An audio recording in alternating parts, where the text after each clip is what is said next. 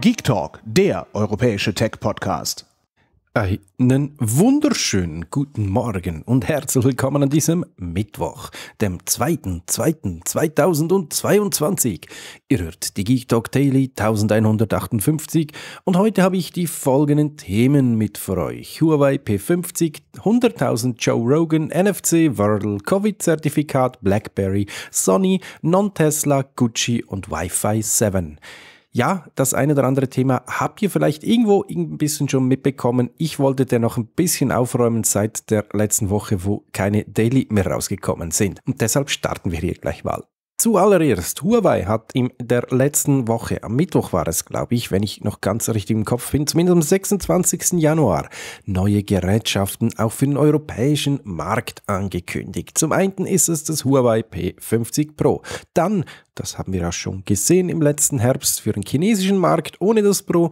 Dann kam noch dazu das Huawei P50 Pocket. Das hat man kurz vor Weihnachten und oder um Weihnachten auch gezeigt für den asiatischen Markt. Und das ist auch wieder technologisch gesehen ganz, ganz heiß. Und zu guter Letzt haben sie noch gezeigt die Huawei Watch GT Runner.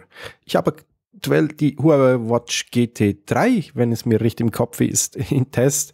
Also das Modell, was im letzten Herbst vorgestellt wurde. Freue mich aber dennoch schon auf ein neues Modell und bin gespannt, was da kommt. Die Eckdaten, die könnt ihr euch am besten aus dem Blog fischen und oder wartet dann, bis ich die Teste im, äh, die, genau, die Geräte im Test habe und euch ein bisschen darüber erzählen kann, wie sie dann sind. Und oder ihr habt es eben schon mitbekommen. Auch in der letzten Woche, mitten der Woche, hat es Neon, der Schweizer Fintech, geschafft. Von äh, ja, 90 auf 100.000 Kunden ist man gekommen. Das war ja das große Challenge, die große Wettbewerb, den sie angesetzt haben. Und das ist jetzt durch. Herzliche Gratulation an der Stelle, würde ich doch sagen. Weiter geht es mit Joe Rogan und das ist schon ein Weilchen her. Das geht hin und her. Der lustige Stand-up-Mensch, Comedian, hat ja einen exklusiven Podcast. Der wurde ja dazu gekauft bei Spotify für viel, viel Geld und da macht er in letzter Zeit immer wieder mal Diskussionen zum Thema Corona, Covid etc. Und leider ähm, gibt er da auch gewissen Menschen eine Plattform, Meinungen und äh, Themen und nicht ganz so wissenschaftlich äh, äh, getreuen Themen eine Plattform. Und das haben schon mehrfach verschiedene ähm, ja, Wissenschaftler und Ärzte angemerkt und haben offene Briefe an Spotify geschrieben. Und wie immer ist es so, man glaubt nicht der Wissenschaft, da muss ein Künstler her und das war Neil Young. Der hat nämlich letzte Woche angekündigt, dass er seinen ganzen ähm, Musikkatalog da rausnehmen möchte. Zumindest den, den er kann, wenn, welchen ihm noch persönlich gehört und nicht verschrieben wurde. Aber ähm, das scheint Wirkung gezeigt zu haben, denn Spotify hat dann auch schlussendlich wirklich reagiert und gemeint, ja, wir sehen da äh, ein, wir müssen, äh, wir stehen in der Pflicht und müssen eigentlich und jetzt tun sie es auch. Ihr wisst ja alle, ich bin kein großer Fan von Spotify. Ähm, ja, mit Zwang haben sie es jetzt gemacht. Man muss es aber auch zweischneidig sehen und ich glaube, das müsste man morgen dann mal in, oder morgen in der nächsten GeekTalk News Episode ein bisschen genauer besprechen, wenn meine beiden Kollegen auch Lust haben dazu, weil ähm, ja, ist natürlich schwierig, da äh, Schranken zu setzen bei so einer offenen Geschichte, aber dennoch ein gewisse, lassen wir das Thema. Bloomberg hat herausgefunden oder will herausgefunden haben, dass Apple bald ähm, Dienste und Hardware wie die von Square, den Reader und ähnliche arbeitslos machen könnten. Da wahrscheinlich wird die äh, Aktie von dem lustigen kleinen Startup mittlerweile ins Bodenlose gefallen sein.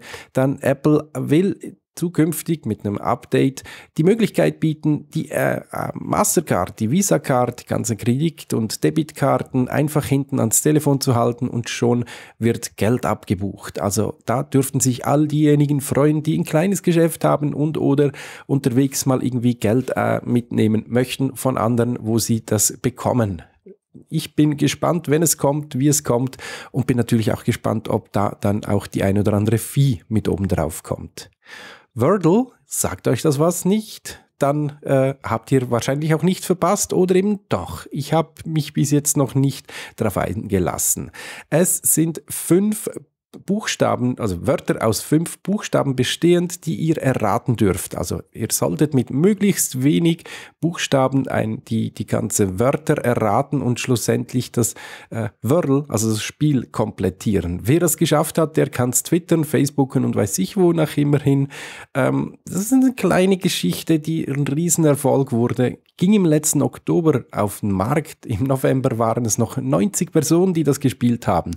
Zwei Monate später waren es 300.000 und mittlerweile spielen mehrere Millionen täglich ihr Wordle, weil das Spiel gibt's immer nur für 24 Stunden und für alle das gleiche. So kann man sich dann schlussendlich auch messen auf diesen Social Networks und wo man das auch immer noch teilen mag.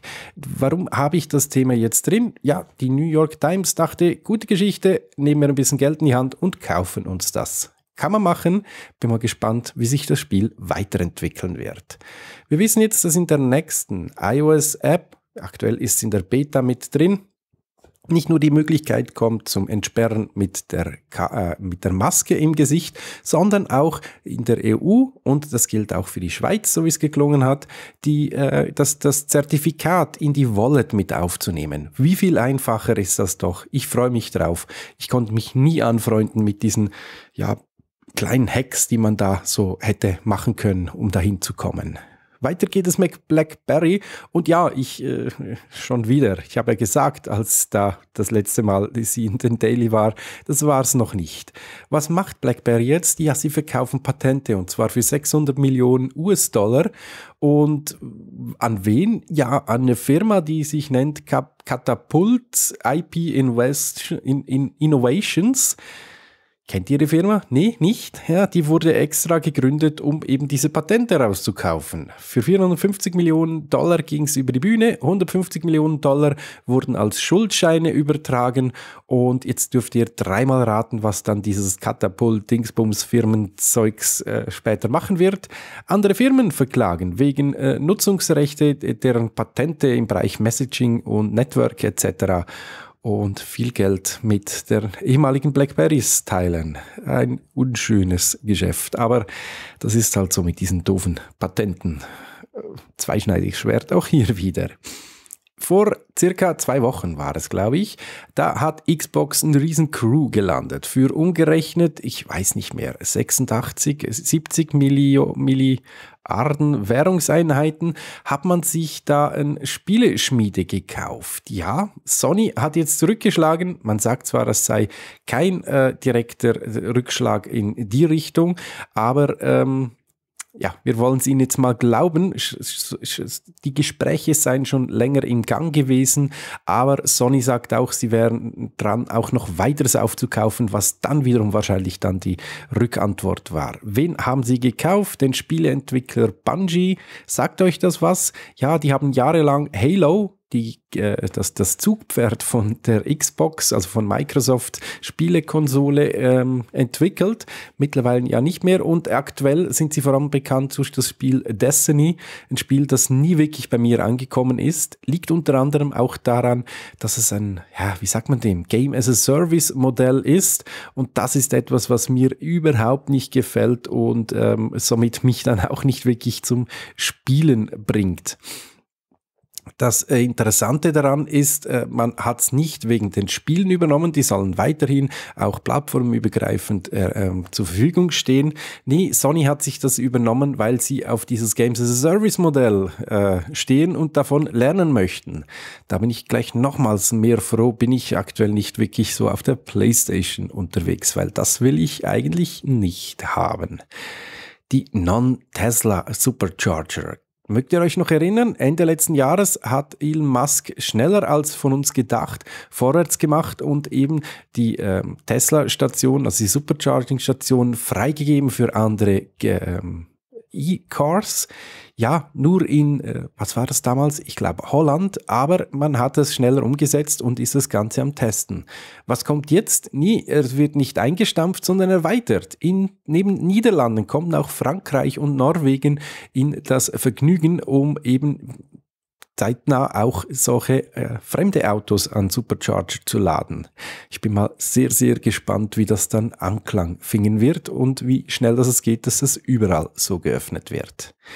Ihr besitzt einen AirPod Max und möchtet noch ein bisschen Geld ausgeben, habt noch ein bisschen was von Weihnachten übrig, dann nehmt mal 730 Euros in die Hand. Dann könnt ihr euch die Gucci äh, AirPod Max Etui Tasche kaufen.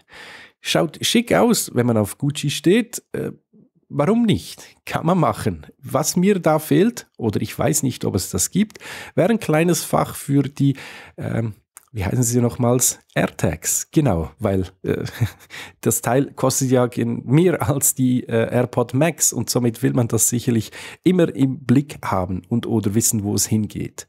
Zu guter Letzt habe ich euch noch einen Lesetipp, wer sich über Wi-Fi 7 äh, einlesen möchte. Und ja, das ist mittlerweile relativ finalisiert worden, aber noch nicht ganz fertig entwickelt.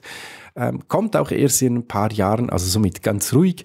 Äh, aktuell ist Wi-Fi 6, vielleicht Wi-Fi 6e, wenn es überhaupt, aber ansonsten, äh, wer wie gesagt sich einlesen möchte, auf dem Pokipsi.ch-Blog habe ich ein bisschen was zusammengetippt, was da alles mit drin ist und warum das jetzt das WLAN doch plötzlich dann wieder viel schneller werden könnte. So viel zu den heutigen News. Wir hören uns wahrscheinlich in den nächsten Tagen nochmals. Ansonsten bald schon ein schönes Wochenende. Euer Pokipsi. Tschüss. Hört mehr Geek Talk.